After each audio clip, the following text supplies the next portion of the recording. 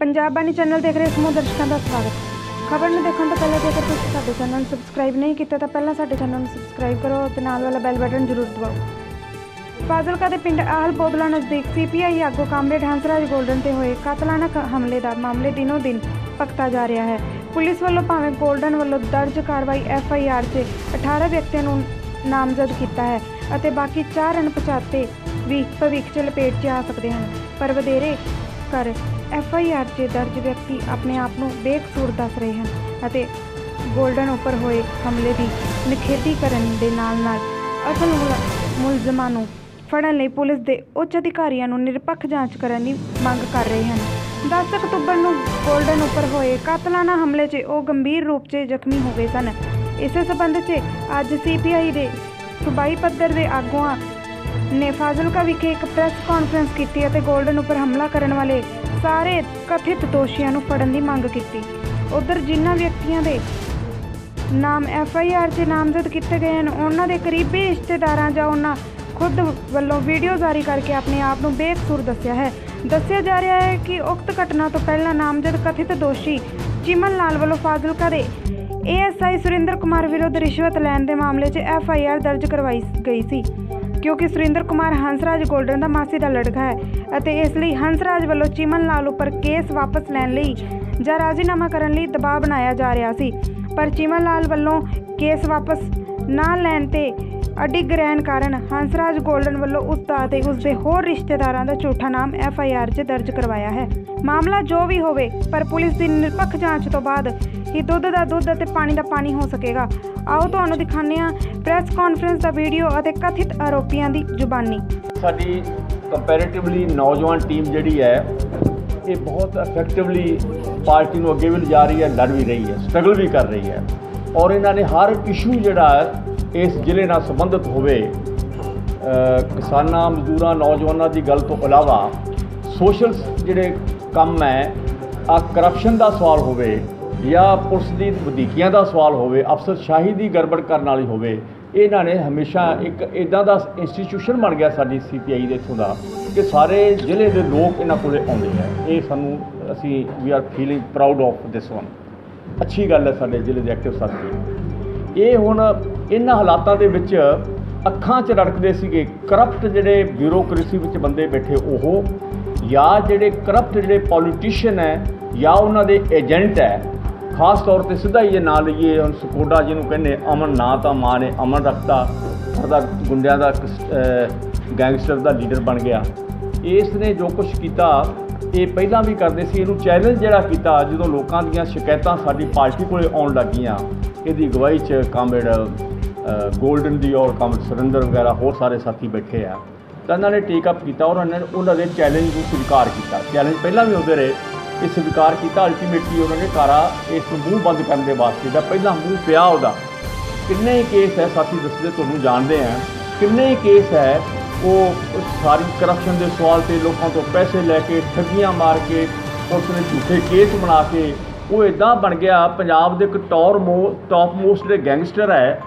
ਮਤਲਬ ਪਹਿਲਾਂ ਤਾਂ ਮਤਲਬ ਇਹ ਵੀ ਜਦੋਂ ਘਟਨਾ ਵਾਪਰੀ, ਘਟਨਾ ਵਾਪਰਨ ਤੋਂ ਬਾਅਦ ਅਗਲੇ ਦਿਨ ਹੀ ਪੁਲਿਸ ਨੇ ਦੋ ਬੰਦੇ ਚੱਕ ਲਏ। ਦੋ ਚੱਕੇ ਆ। ਇਹ ਸਾਡੀ ਐਫ ਆਈ ਆਰ ਬਾਅਦ ਚ ਹੁੰਦੀ ਮੰਨ ਲਓ ਬਿਆਨ ਉਹ ਜਦੋਂ ਪੁਲਿਸ ਲੈ ਕੇ ਜਾਂਦੀ ਉਹ ਕਹਿੰਦੀ ਕਿ ਅਸੀਂ ਆ ਬੰਦੇ ਦੋ ਚੱਕ ਲਏ ਨੇ। ਉਹ ਸਾਡੇ ਕੋਲ ਮੰਨੇ ਵੀ ਨੇ।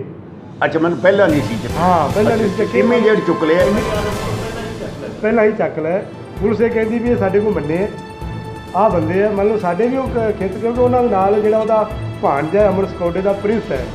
ਉਹ ਇੱਥੇ ਸਾਰਾ ਜਿਹੜਾ ਉਹਨੇ ਜਿਹੜੀ ਜਿੰਨੀ ਵੀ ਉਹਦੇ ਨਾਲ ਜਿੰਨਾ ਵੀ ਉਹ ਜੁੜਿਆ ਹੋਇਆ ਇਸ ਤਰ੍ਹਾਂ ਦਾ ਗੈਸਟਰ ਜਾਂ ਜਿੰਨੇ ਉਹਦੇ ਨਾਲ ਗੁੰਡੇ ਆਦਮੀ ਜੁੜੇ ਹੋਏ ਆ, ਬਕਾਇਦਾ ਫੋਟੋ ਉਹਨਾਂ ਕੋਲ ਸਾਡੇ ਕੋਲ ਬਕਾਇਦਾ ਨੰਗੀਆਂ ਤਲਵਾਰਾਂ ਪਿਸਟਲ ਹਰੇਕ ਤਰ੍ਹਾਂ ਦਾ ਹਥਿਆਰ ਜਿਹੜਾ ਜਾਨਲੇਵਾ ਹਥਿਆਰ, ਉਹ ਸਾਰੇ ਉਹਨਾਂ ਕੋਲ, ਸਾਡੇ ਕੋਲ, ਉਹ ਫੋਟੋਆਂ ਨੂੰ ਉਹਨਾਂ ਨਾਲ ਉਹ ਬਿਲਕੁਲ ਉਸ ਇਲਾਕੇ ਵਿੱਚ ਵੀ ਜਾ ਕੇ ਪੁੱਛ ਰਹੀ ਤਾਂ ਕਹਿੰਦੇ ਨੇ ਰੋਜ਼ ਕਿਤੇ ਨਾ ਕਿਤੇ ਇਹ ਹੁੱਥੋਂ ਤੱਕ ਵੀ ਇਹਨਾਂ ਅੱਗੇ ਸੱਤਾਂ ਅੱਠਾਂ ਜਿਹਨਾਂ ਦੀ ਲੱਤਾਂ ਤੋੜੀਆਂ, ਲੱਤਾਂ ਬਾਹਾਂ ਤੋੜੀਆਂ ਬੰਦੇ ਅਜੇ ਵੀ ਮੰਨ ਲਓ ਡਰ ਗਏ ਸਾਰੇ। ਇਸ ਤਰ੍ਹਾਂ ਦਾ ਡਰ ਪਾਉਂਦਾ ਇਹਨੂੰ ਕਿਤੇ ਉਹ ਵੱਡਾ ਵਧਾਤਾ ਸੋ ਪਹਿਲਾਂ ਪੁਲਿਸ ਨੇ ਆਦੀ ਆਇਡੈਂਟੀਫਾਈਡ ਤੇ ਚੱਕੇ। ਉਹ ਕਹਿੰਦੇ ਮੰਨੇ ਐਫ ਆਈ ਆਰ ਤੋਂ ਬਾਅਦ ਅਜੇ ਤੱਕ ਕੋਈ ਬੰਦਾ ਅਰੈਸਟ ਨਹੀਂ ਹੋਇਆ। ਅਹ ਨਹੀਂ ਉਹ ਸਾਡੇ ਕੋਲ ਨਹੀਂ ਹੋਈ ਤਾਂ ਤੁਹਾਨੂੰ ਇਹ ਕਰ ਡਿਊਟੀ ਆਪਦੀ ਆਪ ਕਰਾਂਗੇ। ਜੀ ਫੈਮਿਲੀ ਵਾਸਤੇ ਆਪਣੇ ਅਫਸਰਾਂ ਦੀ ਕਰਦੀ ਵਾਸਤੇ ਇਹ ਪੁਲਿਸ ਨੇ ਦੇਖਣਾ ਹੈ। ਅਸੀਂ ਉੱਦਾਂ ਦੀ ਕੋਈ ਮੰਗ ਨਹੀਂ ਕਰਦੇ। ਅਸੀਂ ਆ ਟੌਪ ਲੀਡਰ ਸਾਰੇ ਤੁਰੇ ਫਿਰਦੇ ਆ ਇੱਥੇ ਤੇ ਜਿਹੜਾ ਚੋਣ ਲੜਨਾ ਉਹਦੇ ਕੋਲ ਵੀ ਚਾਰ ਚਾਰ ਗਨਮੈਨ ਹੈ ਇਹ ਸਟੇਟ ਦੇ ਹੈੱਡ ਨੇ ਪਾਰਟੀ ਦੇ। ਮੈਂ ਇਹਨਾਂ ਤੋਂ ਪਹਿਲਾਂ ਸੈਕਟਰੀ ਸੀ ਦੋ ਵਾਰੀ ਐਮਐਲਏ ਵੀ ਰਹਿ ਗਿਆ। ਅਸੀਂ ਸਾਡੀ ਸਿਕਿਉਰਿਟੀ ਸਾਡੇ ਲੋਕ ਨੇ। ਔਰ ਐਡਮਿਨਿਸਟ੍ਰੇਸ਼ਨ ਦੀ ਜ਼ਿੰਮੇਵਾਰੀ ਪਰ ਹੈ। ਅਸੀਂ ਇਹ ਕਹਿਤਾ ਵੀ ਅਗਰ ਫੈਮਿਲੀ ਦਾ ਸਾਡੇ ਕਿਸੇ ਵਰਕਰ ਦਾ ਨੁਕਸਾਨ ਹੁੰਦਾ ਰਿਸਪੌਂਸੀਬਲ। ਫਸਟ ਰਾਮਨ ਸਕੌਟਾ ਦੈਨ ਪੁਲਿਸ ਇਹ ਉਹਨਾਂ ਦੀ ਜ਼ਿੰਮੇਵਾਰੀ ਹੋਈ ਨੁਕਸਾਨ ਹੋਣ ਤੋਂ ਬਾਅਦ ਪੁਲਿਸ ਕੀ ਕਰੇਗੀ ਇਹ ਜੋ ਮੈਂ ਕਿਹਾ ਨਾ ਜੀ ਇਹਦੇ ਅਰਥ ਬਹੁਤ ਵੱਡੇ ਹੈ ਜਦੋਂ ਮੈਂ ਕਹਿਤਾ ਕਿ ਜੀ ਉਸ ਤੋਂ ਬਾਅਦ ਭਾਈ ਸਾਹਿਬ ਦੀ ਜ਼ਿੰਮੇਵਾਰੀ ਹੋਏਗੀ ਇਹਦਾ ਮਤਲਬ ਤੁਸੀਂ ਤਾਂ ਪਿੰਨ ਪੁਆਇੰਟ ਹੋ ਗਏ ਨਾ। ਫਿਰ ਉਹਨਾਂ ਦੀ ਇੱਕ ਰਿਸਪੌਂਸਿਬਿਲਟੀ ਬਣ ਲੈਂਦੀ ਹੈ ਮੋਰਲੀ ਕਿ ਕੱਲ ਨੂੰ ਅਸੀਂ ਨਾ ਕਟਹਿਰੇ ਦੇ ਵਿੱਚ ਖੜੀਏ ਪੁਲਿਸ ਜ਼ਿੰਮੇਵਾਰ ਹੈ ਹਾਂ। ਗਵਰਨਮੈਂਟ ਜ਼ਿੰਮੇਵਾਰ ਹੋਊਗੀ ਤੇ ਇਹਦਾ ਮਤਲਬ ਸੌਖਾ ਕੰਮ ਹੈ।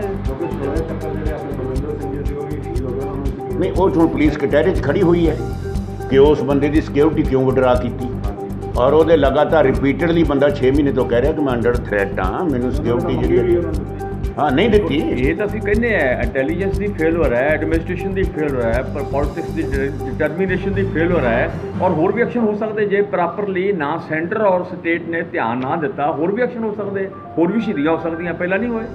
ਇਹ ਤਾਂ ਹੈ ਹੀ it is our duty to take of ਅਸੀਂ ਧਿਆਨ ਰੱਖਣਾ ਕੋਸ਼ਿਸ਼ ਹੋਣਾ ਗਵਰਨਮੈਂਟ ਨੂੰ ਧਿਆਨ 'ਚ ਦਿਵਾਉਣਾ ਅਸੀਂ ਉਹ ਲਗਾਤਾਰ ਲੈ ਰਹੇ ਹਾਂ, ਹੁਣ ਇਹ ਸਾਡੇ ਸਾਹਮਣੇ ਹੈ ਐਕਸ਼ਨ ਹੋ ਰਿਹਾ ਹੈ। ਇਹ ਗਵਰਨਮੈਂਟ ਦੀ ਰਿਸਪੌਂਸਿਬਿਲਟੀ ਹੈ। ਮੈਂ ਹਰਕਿਸ਼ਨ ਲਾਲ, ਪਿੰਡ ਚੱਕ ਸੋਤਰੀਆ ਦਾ ਰਹਿਣ ਵਾਲਾ ਹਾਂ।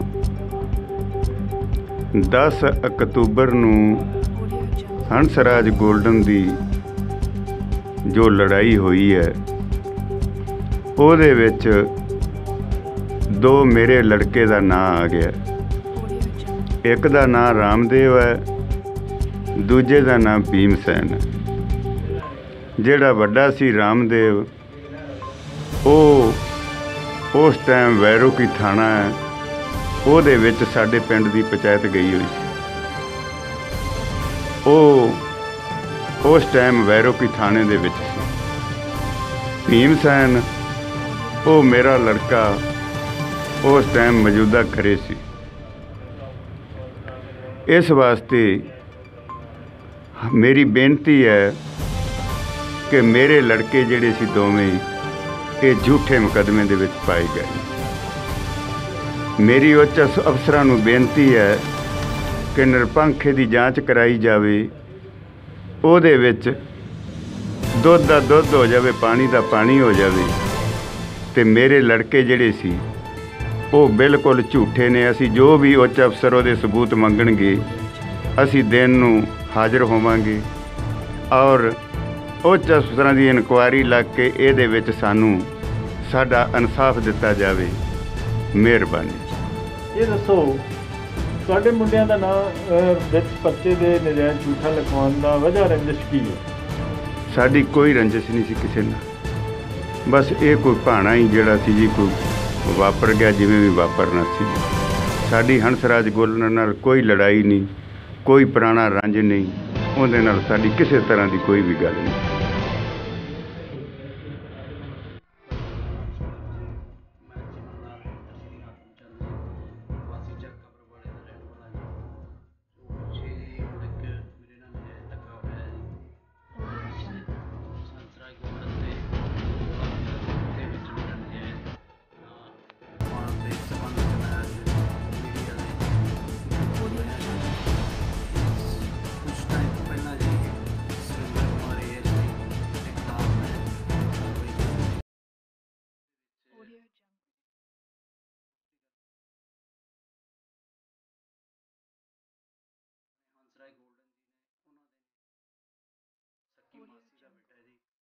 ਜਦੋਂ ਮੈਂ ਕਾਰਵਾਈ ਸਰ ਕਰ ਰਿਹਾ ਸੀ ਹੰਸਰਾਜ ਗੋਲਡਨ ਅੰਦਰ ਟੰਡੀਆਂ।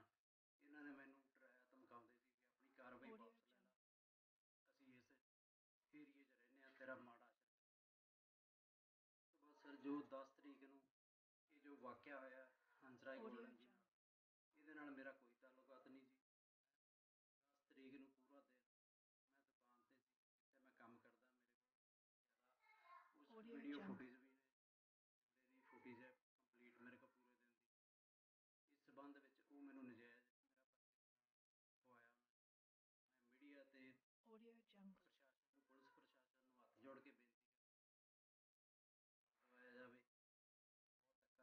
ਹੱਥ ਇਸ ਚੀਜ਼ ਤੋਂ ਬਹੁਤ ਪਰੇਸ਼ਾਨ ਹਾਂ ਜੀ। ਧੰਨਵਾਦ ਜੀ। ਪੰਜਾਬ ਬਾਣੀ ਤੋਂ ਹਰਮੀਤ ਸਿੰਘ ਦੀ ਰਿਪੋਰਟ ਦੇ ਨਾਲ ਸਿਮਰਨ ਕੌਰ।